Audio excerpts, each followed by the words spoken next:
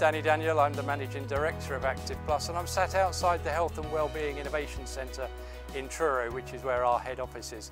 So Active Plus is a community interest company we formed 11 years ago and we use the skills and experience of uh, ex-service personnel, wounded, injured and sick and retired military veterans to deliver confidence, motivation, resilience and leadership training.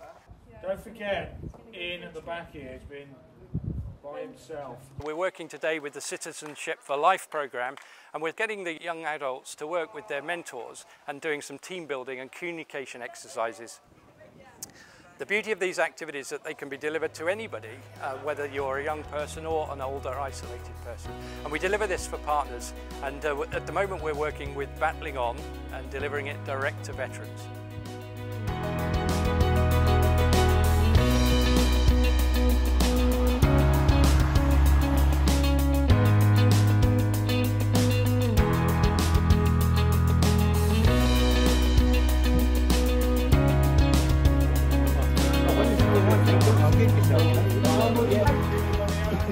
Money out. So today at Merryheugh Farm, um, we are working with our partners Battling On and we're doing a comms motivation course through Active Plus for our military wounded, injured and sick veterans. The participants are wounded, injured and sick veterans um, through all four services and we are providing a service to provide confidence motivation and improve their socialising skills to get them back into community service.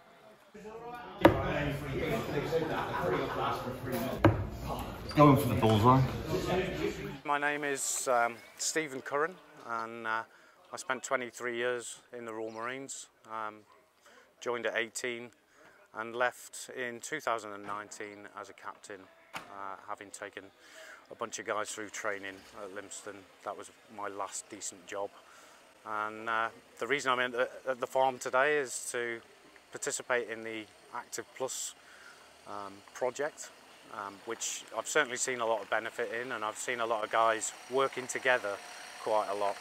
Um, and this farm is very much about reinstalling that kind of camaraderie that you know these guys, a lot of them sadly miss and this gives them a day or two days a week where they can come together, have banter and succeed in little tasks, whether it be building something or whether it be solving a puzzle or whether it be building bird boxes.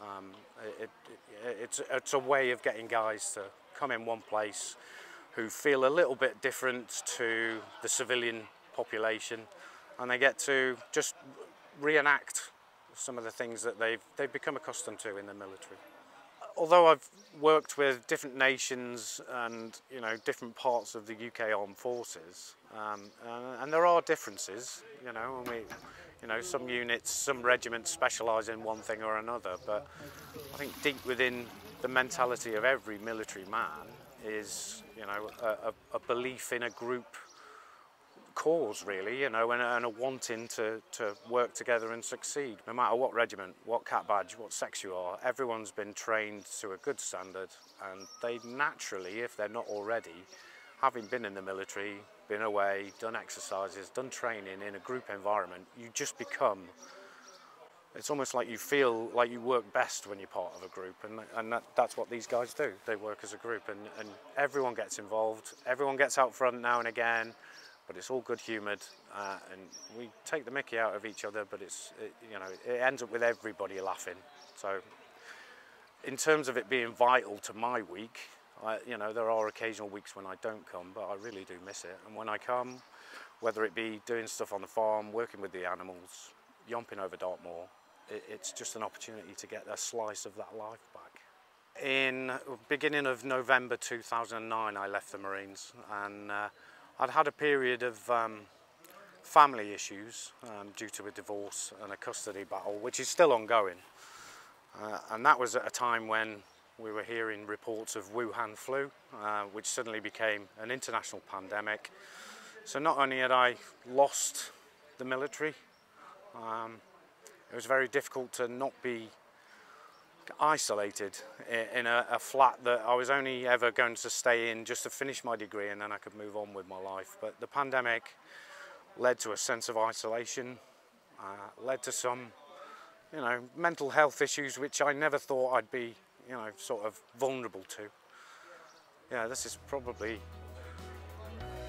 at least one day a week where I can just feel a bit normal.